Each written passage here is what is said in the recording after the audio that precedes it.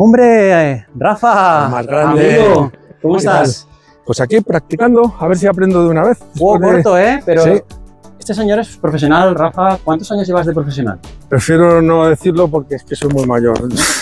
40, no sé. 40, por No, no me acuerdo. Y, y estás practicando el juego corto, un, un golpe difícil, ¿verdad? Es, es complicado de coger la sensación. Es un golpe que es muy importante y se practica poco. El approach y dentro del approach el cortito. cortito. Vale, entonces yo te quiero hacer una pregunta, a ver si nos puedes ayudar. ¿Cómo darías tú una clase, unos consejos a esa primera, eh, primera vez que viene una persona a hacer este golpe? Es un golpe complicado, ¿no? Eh, ¿Cómo pueden hacer ellos un sistema que digan, oye, mi primera clase de approach o mi segunda clase, eh, ¿cómo lo puedo hacer yo para entenderlo y que me pueda salir bien? Vale, lo voy a explicar muy sencillo, muy Vale. sencillo. Tengo que decir que yo, bien sea particular o sean grupos, antes de venir a la zona de approach, como mínimo, mis alumnos han ido dos veces al PAT. 15, 20 minutos, 25 como mínimo. Y tienen un concepto básico de lo que es un PAT. Este palo, que algunos no conocerán, sobre todo los más jóvenes, es un chipper que imita al two balls y como tiene mucho contrapeso, a mí me viene muy bien para enseñar. ¿eh? Y les digo lo siguiente. Tenemos un approach de unos 15 metros, aparentemente sencillo.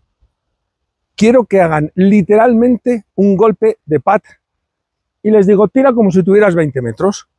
Entonces se colocan, como este palo es muy parecido a un pat, y hacen esto. Una vez que lo han hecho varias veces, entienden que los brazos y el palo forman la letra Y. Si coges bien la postura, estamos un poquito más asomados que en un golpe normal. Simplemente es mantener eso. Esto tiene más base, resbala bien. Puede darse el caso de que no tengáis un chipper. Pues a mis alumnos les digo, coge el pad, tira un pad de 20 metros. Repito que estamos a 15, literal. Y les hago que tiren tres o cuatro pads. Después les dejo un san y les intento convencer, que no es fácil, de que tienen un pad en la mano. El palo se pone un poquito más vertical y tienen que hacer lo mismo, un pad de 20 metros. Y de repente dicen, pero si yo por mi cuenta no había hecho eso nunca. ¿Por qué? Porque al final el palo va a elevar la bola. La Y hay que mantenerla.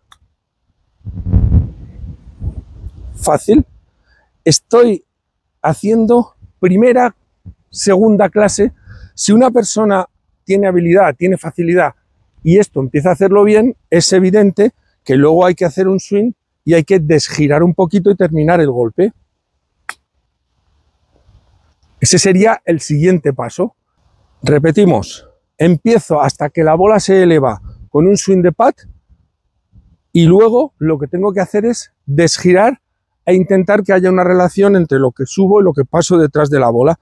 Pero fijaos en la Y mayúscula que forman mis brazos y el palo. Se mantiene. Eso es muy importante. Esto, las caderas, es lo que mueven bien los buenos jugadores de approach. Bueno, Rafa, oye, ha sido una explicación eh, magnífica, una primera clase, segunda clase para un jugador que inicia, fantástica.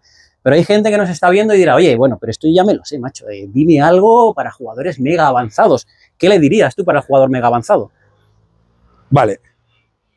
Voy a dar un consejo que me dieron a mí, pero no hice caso. Por eso no era buen jugador. Hazlo fácil, que difícil ya es. Entonces, tenemos un montón de información, vídeos en YouTube, libros, todo. Y es un deporte en el que tenemos tendencia hacer todo demasiado, demasiado mecánico. Entonces, ponga el peso en la izquierda, suba en un sentido vertical y la bisectriz del ángulo de ya, ya la cabeza está dando vueltas y voy a clavar el palo y voy a hacer cualquier cosa. Incluso para un handicap 16, 18, 20, si en un momento dado en el campo está nervioso porque tiene opciones incluso de ganar un campeonato, si se pone así, le da un empujón, a veces haciendo ese golpe, dejo la bola a un palmo. Entonces, Hay que intentar saber en qué momento estás y cada uno su nivel, pero vamos a hacerlo fácil. Los palos ahora tienen diferentes ángulos. Hay que hacer siempre un movimiento que esté uniforme y que conecte abajo. Solo hay que pensar en el tamaño de swing y en desgirar.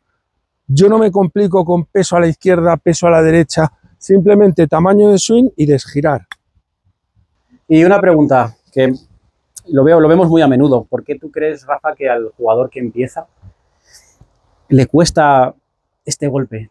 Le cuesta en particular, ¿no? Conseguir esa sensación del swing, se clavan, lo que dices tú, se clavan, paran, la, distancia. ¿Por qué crees que les cuesta tanto? Es una pregunta difícil, ojo, ¿eh? Este golpe se practica poco.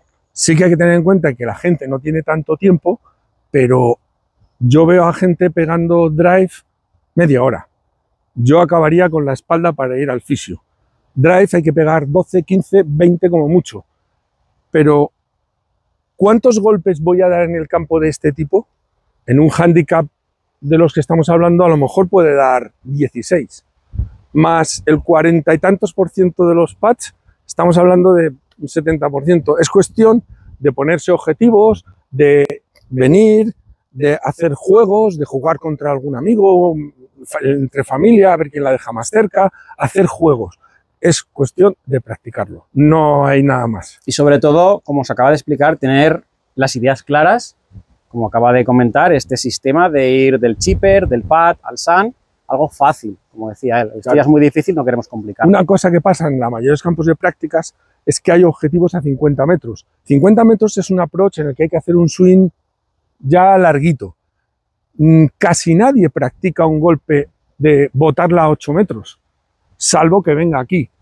Entonces, mi idea, intento que la gente máximo 40 minutos dando bolas, 15 o 20 o todo lo que quiera en el pad y 15 o 20 en el green de prácticas o todo lo que quiera, pero hay que ir a los tres sitios cada vez que se viene a practicar.